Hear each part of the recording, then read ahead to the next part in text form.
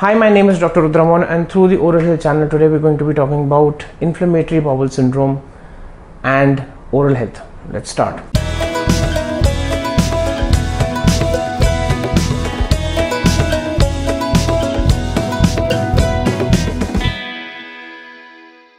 So I'm going to be talking about Crohn's disease and ulcerative colitis.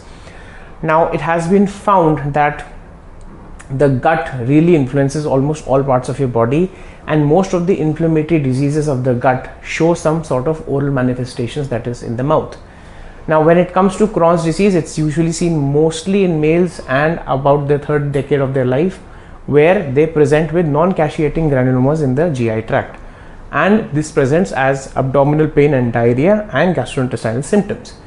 Now when it comes to the oral manifestations of Crohn's disease, you have a lot of common findings which might be present with other inflammatory diseases of the bowel, such as ulcerative colitis, such as recurrent aphthous stomatitis. You can have mucositis, you can have mucogingivitis. A generalized inflammation of the mucosa is generally seen. The areas affected are lips, buccal mucosa, and the vestibule.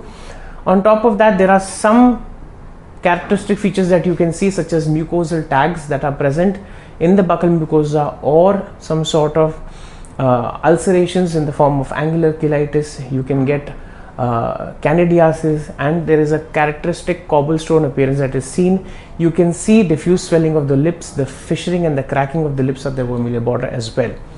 Now what is the treatment for Crohn's disease? Usually after the diagnosis you are supposed to get treated by immunosuppressants corticosteroids or biological agents once the cause is ruled out and it's taken care of the definitive cause is treated your oral symptoms might come down. And also if you're a patient suffering from Crohn's disease my empathy and my sympathy towards your discomfort.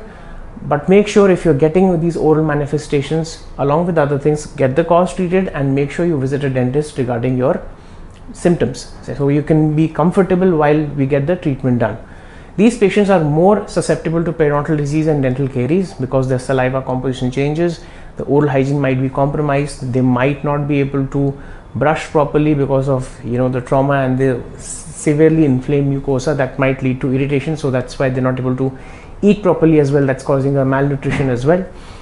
Now coming to ulcerative colitis this is a very serious condition which is um, affected uh, which affects the distal ileum and the colon and basically it leads to ulcerations in the intestinal tract.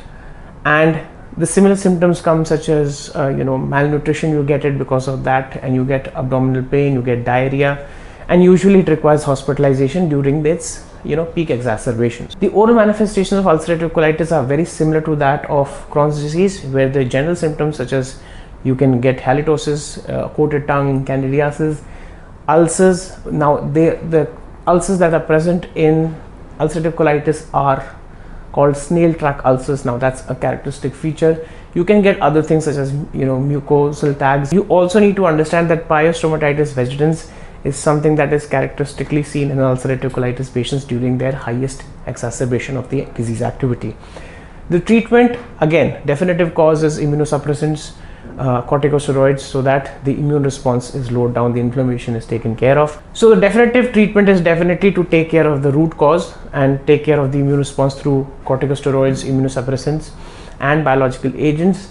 However the dental part or the oral health part needs to be seen by a dentist to make sure that the patient is comfortable because they should be able to eat well if they're having ulcers.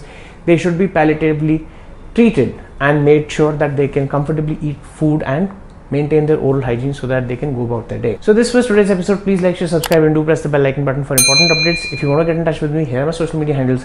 Kindly refrain from calling me directly as I might be busy with patients. Just drop me a message on WhatsApp.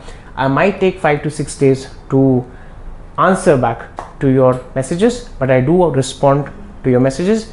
And please make sure if you have any queries, doubts, apprehensions or insights, please feel free to put them in the YouTube comment section. So that's it for today. Thank you.